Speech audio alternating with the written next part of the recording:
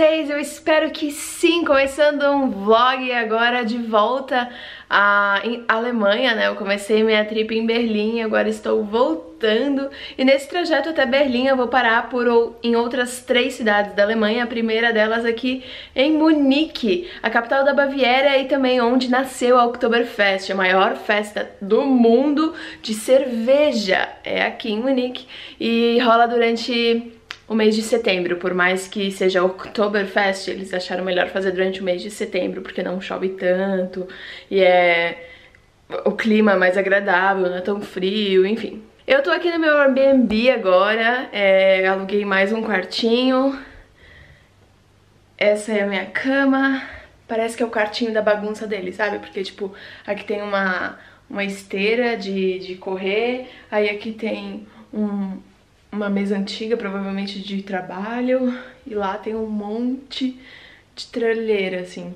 É bem confortável a cama, eu dormi super bem noite passada, e eu dormi até mais tarde hoje, mais tarde, eu tô acordando todo dia assim, entre 6 e meia e 7 horas, hoje eu acordei às 8 horas, eu tô tão feliz, consegui descansar um pouco mais, porque a nossa primeira parada de hoje é na Nova Pinacoteca, e ela ou na nova ou na velha, tem duas aqui em Munique, e elas só abrem às 10, então eu pensei, cara, eu vou dormir até mais tarde, fazer as coisas com calma, e é isso aí, porque a gente já tá, sei lá, 15º dia de viagem, começa a cansar um pouquinho.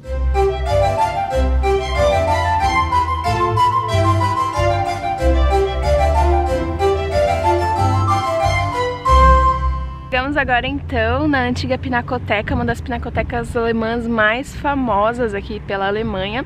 Só Munique tem três pinacotecas, a antiga, a nova e a moderna. Eu vou na antiga porque eu prefiro essas obras mais medievais, tanto que conta com mais de 8 mil obras, pelo menos 700 quadros estão expostos. E é dessa época, né, da idade medieval até é, meados do século XIX, então acho que eu vou gostar bastante, só custa 4 euros, então acho que é muito bacana esse preço para um museu, com esse tamanho todo que ele tem, é gigantesco, e o dia tá muito gostoso, tá um sol perfeito, eu tô muito feliz que Monique ajudou com esse tempo para dar aquele up, hoje eu acordei com preguiça, mas vamos lá. Duas informações que eu quero deixar aqui pra vocês. Na segunda-feira a Pinacoteca Antiga não abre e na terça-feira o horário dela é estendido até as 8 da noite. Então você pode tipo, aproveitar o seu dia e no final da noite terminar aqui na Pinacoteca.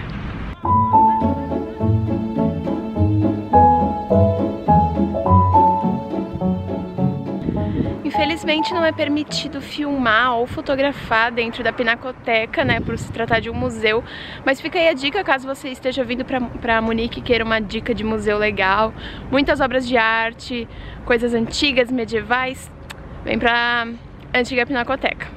Aqui bem na frente, ó, aquele prédio mais moderno ali, fica a nova Pinacoteca. Então dá pra fazer esse rolê das duas juntos também tem problema algum.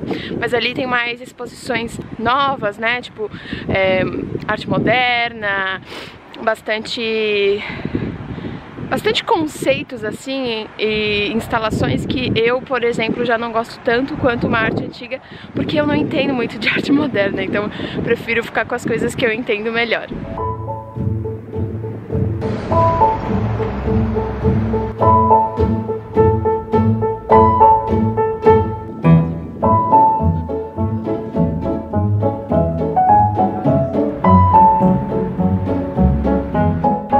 Curiosidade, Munique foi uma das cidades mais destruídas durante a Segunda Guerra Mundial e ela teve que ser grande parte reconstruída décadas depois. Por isso que tem muitos prédios novos, assim, tem apartamentos, principalmente apartamentos residenciais e tal, tudo é muito novo, tudo é muito moderno aqui, mesmo a cidade sendo tão antiga.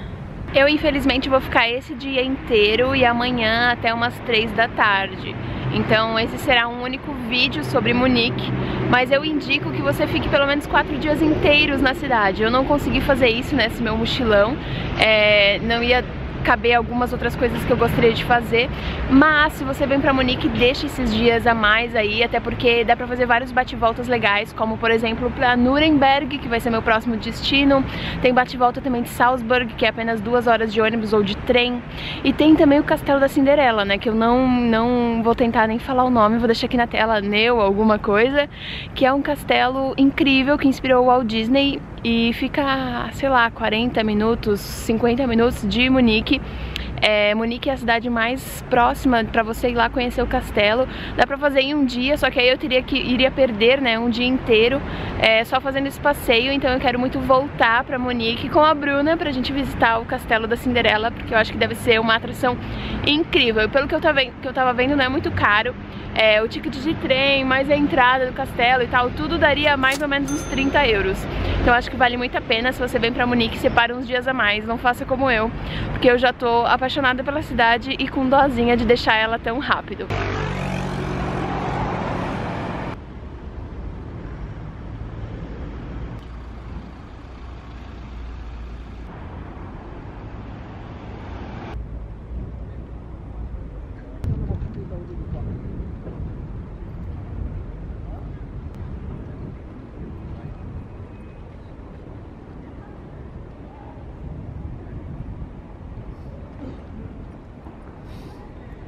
Andando um pouquinho lá da nova e antiga Pinacoteca, a gente chega na Odeonsplatz, uma das praças mais famosas e emblemáticas aqui da cidade.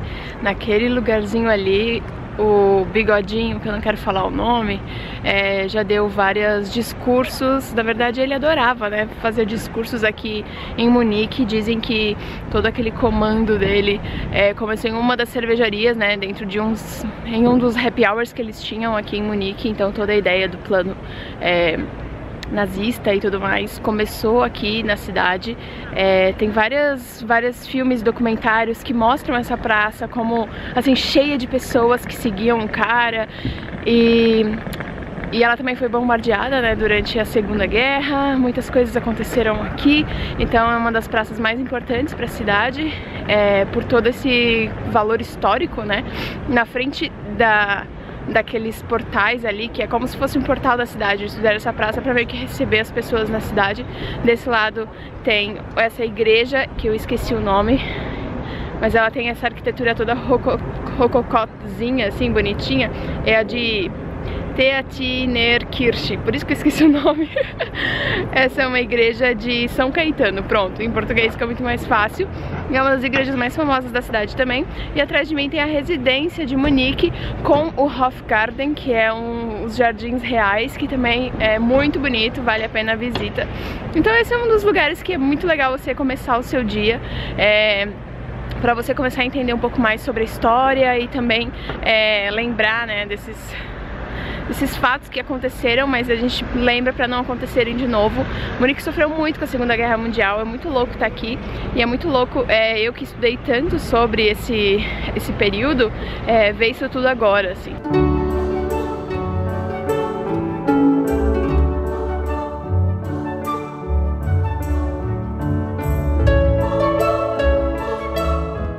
Olha só, durante a reforma do, da residência, eles não refizeram todas as colunas e todos os tijolinhos que antes tinham, tá vendo? Isso aqui tudo é pintado, provavelmente como que era. Essa parte aqui ainda continua meio original. Mas essa residência começou a ser construída e usada pelos monarcas da Baviera em 1300 e pouco. Então imagina, é muito tempo, muita história.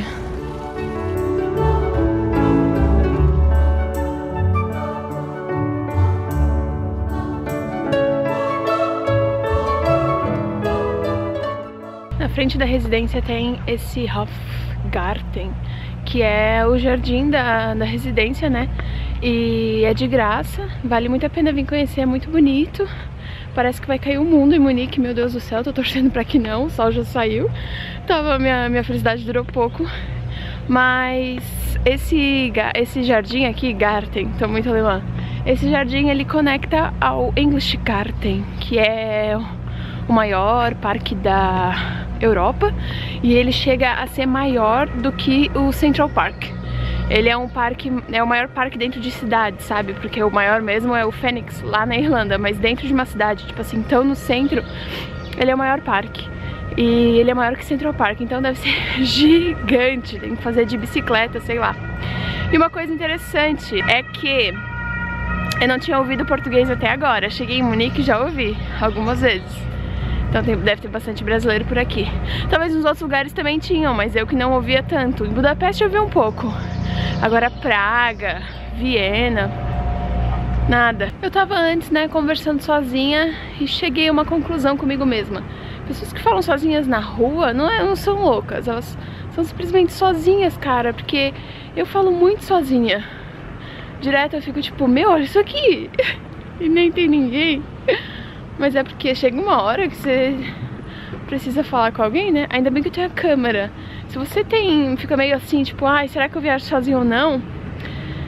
É muito legal, é muito legal, tipo, você viver tudo tão intensamente mas eu diria pra você compartilhar bastante do que você vive com outras pessoas através dos seus stories, por exemplo. Aposto que seus amigos vão adorar saber o que você tá fazendo na viagem. Se você tem uma câmera, filma. Mesmo que você não for postar, sabe? Acho que é legal pra você observar depois. E fala o que você quiser na câmera, tipo o que eu tô fazendo agora.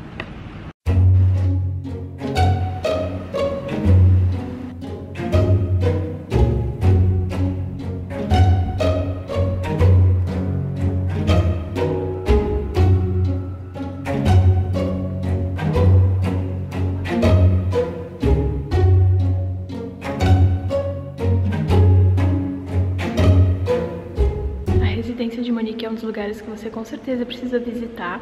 Tem a residência, o museu, que eu paguei 7 euros, ou o tour completo, que daí inclui também os tesouros da rainha, né, da Bavária e do rei, é, mas eu não quis ver, e aí tudo daria 13 euros, mas eu preferi ver só o museu, que já tá sendo bem legal por 7 euros.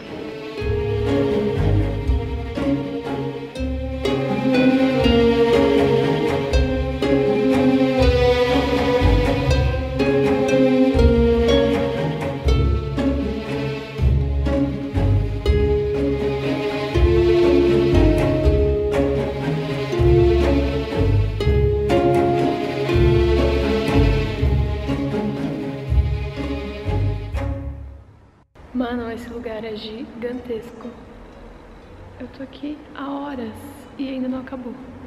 Enorme, enorme. Vale muito a pena. É muito interessante. Olha só para vocês terem uma noção, isso tudo é a residência. É enorme. Ali o jardim que eu tava antes é gigante, é gigante.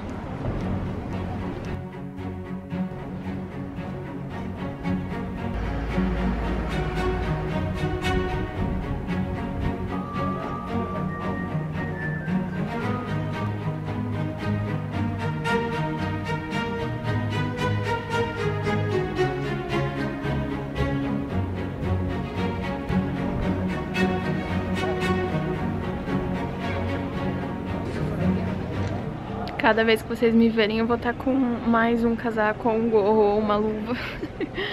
eu tava andando aqui na Marienplatz, que é uma das principais praças da cidade, né? Tudo que tem Platz é praça, como eu falei em Salzburg. E aí eu vi esse, esse lugar gigantesco e eu de cara no primeiro momento achei que era uma igreja, mas eu lembrei que não tinha nenhuma igreja ali tão grande. E aí eu lembrei de novo que é a Hat House, que é a prefeitura, que eles chamam de nova prefeitura, mas ela já funciona aqui desde 1874.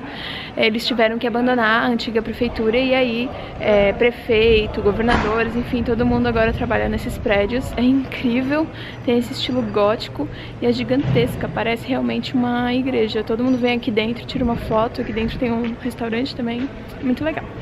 A cidade conta com vários metrôs, pontos de metrô que te deixam exatamente no ponto turístico, assim. Tem a Marienplatz, tem a Osterplatz, várias, várias, várias. Na Marienplatz tem vários restaurantes, lojas de grife, cafés. É um lugar bem gostoso, assim, passa muita gente por aqui, tem loja de tudo.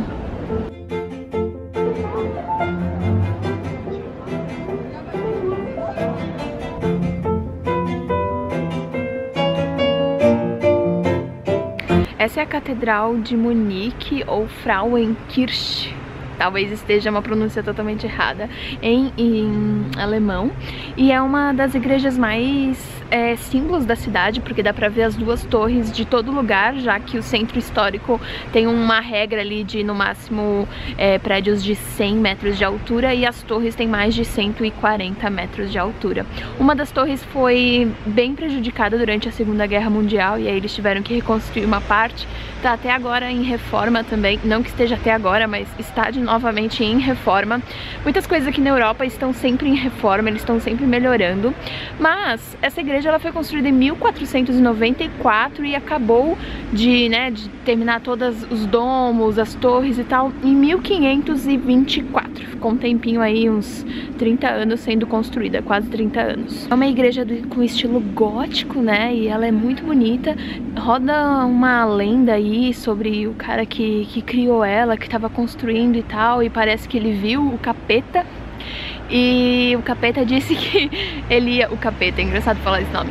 Mas ele disse que o cara ia terminar logo, porque o cara tava tendo problemas, assim, né? Struggling com a vida de não terminar a igreja e não conseguia. E daí ele falou assim: Não, você vai terminar. É... E parece que tem até o pé dele, a marca do pé dele no, na entrada da igreja. Mas eu gostei dessa igreja porque ela é escura, não tem nenhum vitral, não, não entra luz. Mas é porque quando você tá atrás da igreja, meio que na porta dela, não dá pra ver nem nenhuma janela, porque todos os pilares ficam na frente das janelas. E aí o capeta meio que se enganou, né? Porque na verdade tem janela sim, só que não dá pra ver da porta. Só mais uma lenda urbana da Europa.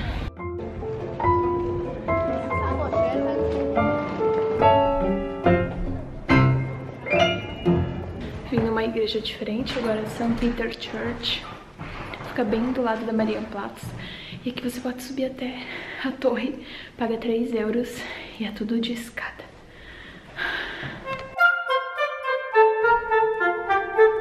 Mano, tô pagando todos os meus pecados. Puta merda. Muito degraus. E eles são abertos um entre o outro, eu tenho medo. Eu não posso olhar pra baixo. Tá quase, tá quase. Ai, caceta. Eu não sei quantos degraus são, mas eu paguei todos os meus pecados. Gente. Mas dá tudo certo. Subi rapidinho. 10 minutos. Aqui dá pra ver certinho as duas torres ali da igreja da Catedral de Munique. Linda. Essa aqui é a prefeitura. Vista de cima. Não parece uma igreja enorme, né?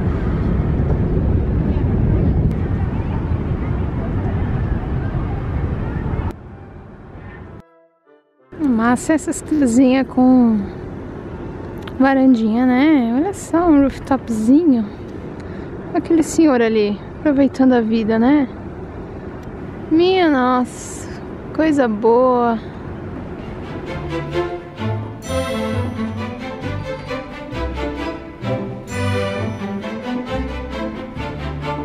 Vai subir lá naquela torre lá no alto. Essa mesmo.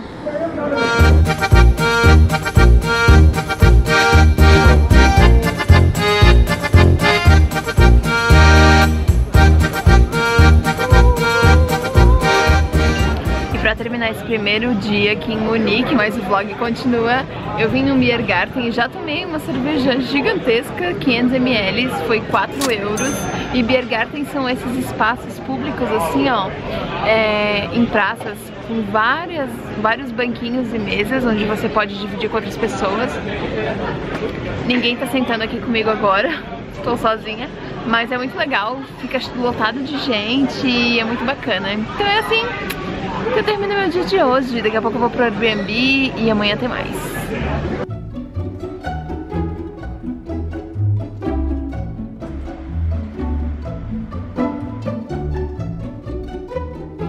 Adivinha quem acordou com chuva? Você acertou se falou Monique. Eu acordei com preguiça de passar maquiagem, então teremos esse finalzinho de vlog sem maquiagem.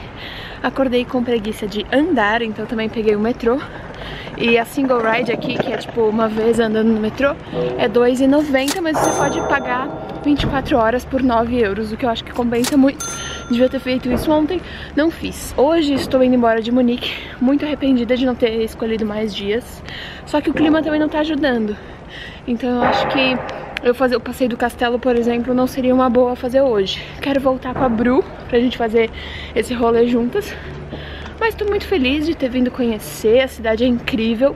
É um pouco parecida com Viena no quesito de que é uma cidade grande, então o Deutsche Museum e o Museu de Ciências, por exemplo, que eu gostaria muito de ir, eles ficam bem mais longes aqui desse centro e tal.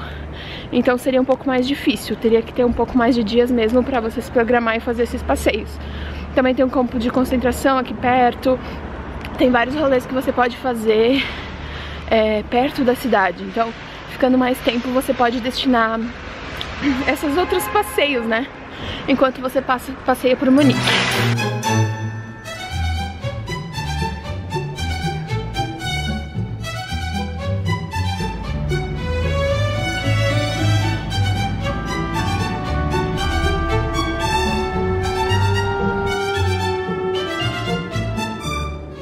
Ontem eu passei rapidamente por esse Victuain Market, talvez eu esteja falando errado, mas aqui é o mercado aqui da cidade, ele fica da, aberto das 9 da manhã às 10 da noite e foi aqui que eu é, tomei aquela cerveja que eu mostrei pra vocês ontem.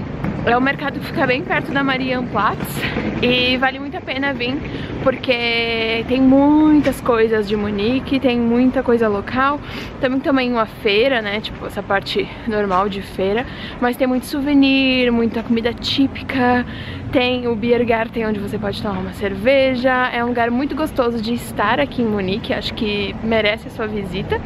E aqui por perto também tem várias lojas caso você queira comprar alguma coisa.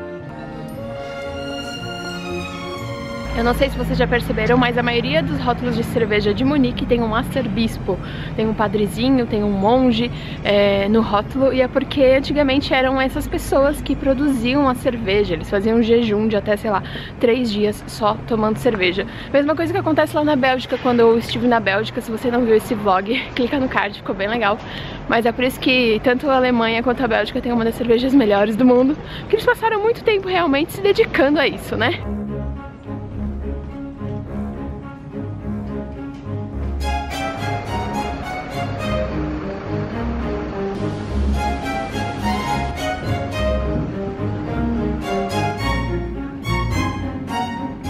Falando em cerveja, as marcas mais conhecidas de cerveja aqui de Munique são Paulaner, Augustiner e Spon, eu acho que esse é o nome. Spaten. E também a Hofbrau, que é a cervejaria mais famosa da cidade, que a pint chega lá até 8 euros, é um pouco mais caro, mas vale a pena conhecer, é um lugar muito tradicional aqui. Não sei se vou conseguir ir até lá hoje, tá muito frio, não tô afim de beber cerveja agora, mas quando você vem pra cá tem que experimentar essas marcas com certeza.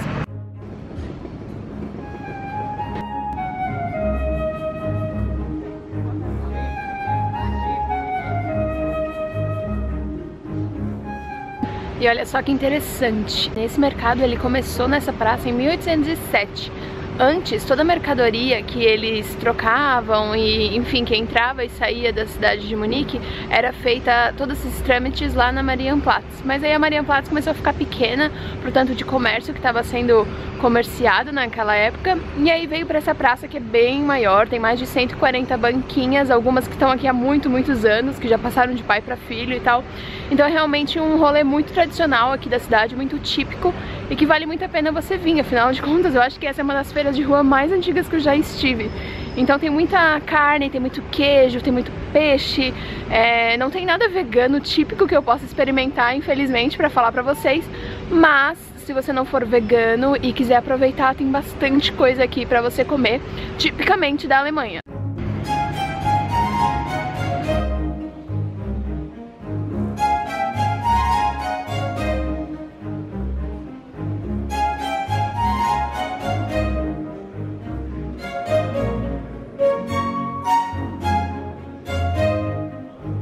Cervejaria é enorme e à noite deve tocar bandinha, porque tem um palco aqui tem todo um espaço pra cá. Mais um monte pra cá, olha isso. E sim, eu vim na Ralph Brown porque eu precisava mostrar pra vocês. Ela fica nesse prédio branco aqui atrás.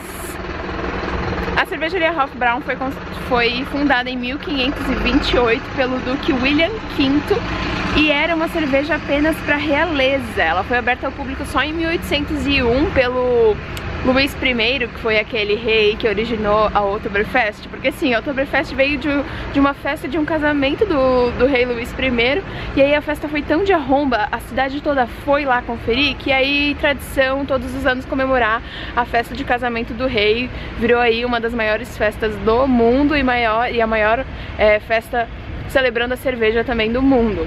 Que louco, né? Talvez você não sabia disso, nem eu, mas acabei aprendendo. Em Blumenau, a cidade onde eu moro, a gente tem a segunda maior Oktoberfest do mundo. Mas voltando aqui para Hofbraun, quando Luís I é, abriu a cervejaria ao público e não só mais a realeza, ele também pediu para baixar os preços da cerveja para que o povo todo pudesse experimentar a tal da cerveja que o Duque lá em 1500 e tanto tinha mandado fazer. Então esse Luís I, além de ser um cara muito bacana por ter criado a Oktoberfest, também é, gostava do povo, né? Queria que tudo fosse muito acessível ao povo. Essa cervejaria ficou muito conhecida pelos turistas porque durante ali o período de 1920, 1929 o Bigodinho fazia suas reuniões do seu partido nazista aqui em Hofbraun, tanto que foi um dos primeiros alvos ali do, dos aliados, né, quando bombardearam Munique, essa, esse prédio aqui foi totalmente destruído e foi reconstruído em 1959, anos após a, o final da Segunda Guerra Mundial. Então assim, tem muita história. Se vocês quiserem saber mais sobre a Ralph Brown, eu vou deixar um link aqui na descrição que eu achei e é muito interessante. E é uma cervejaria bem tradicional, se você quiser ter essa experiência é, que todo turista tem, eu indico entrar ali, comer um prato típico, tomar uma cerveja da Ralph Brown.